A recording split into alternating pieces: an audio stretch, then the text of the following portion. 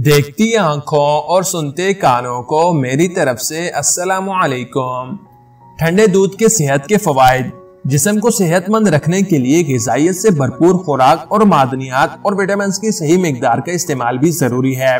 आप अपने रोज़मर्रा के मामूलात में बहुत सी चीज़ें खाते हैं, लेकिन शायद आप इनके फवायद से वाकिफ ना हो। जैसे कि आप रोज़ाना दूध पीते हैं, ये सेहत के लिए भी बहुत फ़ायदेमंद समझा जाता है। दूध में प्रोटीन, कैल्शियम, फास्फोरस, पोटाशियम और तमाम ज़रूरी गजाई अज्जा होते हैं। लेकिन आपने गर्म या सादा दूध ही ज़्यादा पिया होगा। आपको बताते चलें कि ठंडा दूध सेहत के लिए भी बहुत फ़ायदेमंद है। आप खुद इसका तजर्बा करके देख सकते हैं। आप इसमें कोई भी फ्लेवर डालकर भी पी सकते हैं। तो आइए आज जानते हैं ठंडा दूध पीने के कुछ फवायद। वज़न कम करने में मददगार। आप ठंडा दूध पीकर भी वज़न कम कर सकते हैं। है ना हैरान कन बात? वो कैसे? यहाँ जानिए। ठंडे दूध को हजम करने के लिए जिसम मामूल के दर्जे हरारत पर वापस आने की कोशिश करता है। जब जिसम का दर्जे हरारत नॉर्मल हो जाता है तो इस दौरान बहुत सी कैलोरीज जल जाती हैं। इसलिए आप इसके इस्तेमाल से अपना वज़न कम कर सकते हैं। इसके अलावा ठंडा दूध पीने से भी आपका पेट ज़्यादा देर तक भरा रहता है और आपको ज़्यादा देर तक कुछ खाने की ज़रूरत नहीं होती। इसके इस्तेमाल से आप ज़्यादा खाने से भी बच सकते हैं। तेजाबियत से निजात। ठंडा दूध आपके मैदे के लिए भी बहुत फ़ायदेमंद है। ये आपके पेट को ठंडा रखता है। इससे आपको कब्ज का मसला नहीं होगा। इसके अलावा ये पेप्टिक अल्सर की वजह से होने वाले पेट के दर्द को कम करने में मदद करता है। माहिरीन के मुताबिक अगर आपको कब्ज का मसला है तो आपको रोज़ाना एक गिलास ठंडा दूध पीना चाहिए जिल्द को रोशन और चमकदार करता है। ठंडा जूस इलेक्ट्रोलाइट से भरपूर होता है। ये दूध जिसम को पानी की कमी से बचाने में मदद करता है। इसके इस्तेमाल से आपको पानी की कमी नहीं होगी। आप ठंडा दूध पीकर अपने जिसम को हाइड्रेट रख सकते हैं। ये जिल्द के लिए भी बहुत फ़ायदेमंद है। इसके इस्तेमाल आपकी जिल्द को रोशन और चमकदार बनाता है। बतौर एनर्जी ड्रिंक इस्तेमाल करें।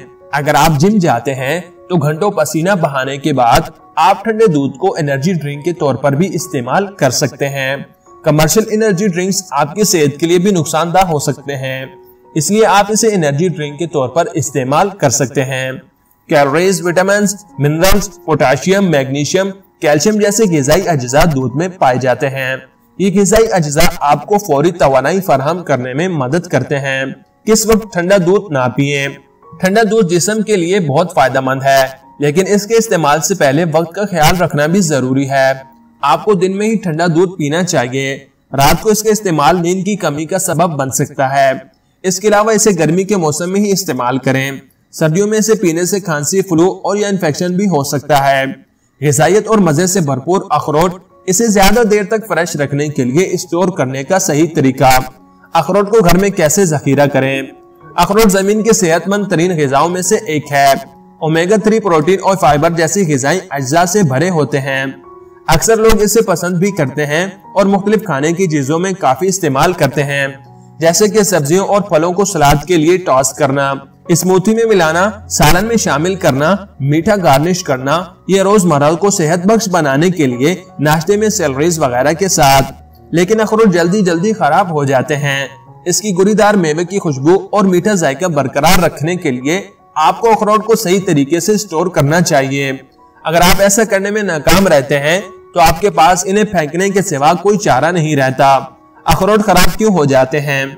अखरोट वाहिद दरख्त का मेवा है। अखरोट वाहिद दरख्त का मेवा है, जिसमें पौधे पर मबनी ओमेगा थ्री की नुमाया मकदार होती है। इस सेहतमंद चिकनाई की वजह से अखरोट दीगर गरीदार मेवे के मुकाबले में जल्दी अपनी ताजगी खो देता है। इन गजाई से भरपूर गरीदार मेवे को खराब होने से कैसे बचाया जाए? यहाँ हम ये जानने की कोशिश करते हैं, कहाँ स्टोर करना है? अगर आप इन्हें ज़्यादा देर तक फ्रेश रखना चाहते हैं तो छिलके वाले या बगैर छिलके वाले अखरोट को रेफ्रिजरेशन की ज़रूरत होती है। आप इन्हें रेफ्रिजरेटर या फ्रीजर में रख सकते हैं। इस बात पर मुनसर है कि आप इन्हें कब इस्तेमाल करने जा रहे हैं। अगर आप इन्हें एक माह के अंदर इस्तेमाल करने जा रहे हैं तो आपको इन्हें फ्रिज में रखना चाहिए, वरना फ्रीजर में। याद रखें कोल्ड स्टोरेज ताज़ा जायके के बराबर है। आमतौर पर वो फ्रीजर में एक साल तक रह सकते हैं। बड़ी खबर ये है कि इन्हें डिफ्रोस्ट करने की भी ज़रूरत नहीं होती है। आप इन्हें बर रास्त फ्रिज या फ्रीजर से निकाल कर खा सकते हैं। स्टोर कैसे करें? छिले हुए ये बगैर छिलके वाले अखरोट को एयर टाइट कंटेनर में रखने की ज़रूरत है। रेफ्रिजरेटर या फ्रीजर में रखे जाने वाली चीज़ों को जिप लॉक बैग में भी रखा जा सकता है। इस बात को यकीनी बनाएँ कि अखरोट नमी, रोशनी और गर्मी से दूर रहें। इनकी ताजगी बरकरार रखने में मदद मिलेगी। एक आखिरी टिप, आखिर में हमारा मशवरा है कि अखरोट को सिर्फ़ ज़रूरत पड़ने पर ही तोड़कर इस्तेमाल करें। याद रखें कि शेल को पहले से हटाने से, गरीदार मेवे के खुश्क होने जायका खोने या खराब होने के इम्कान बढ़ जाते हैं। उम्मीद करते हैं कि छोटी सी काविश आप लोगों को पसंद आई होगी। अगर पसंद आई हो तो वीडियो को लाइक कर दीजिएगा। शुक्रिया।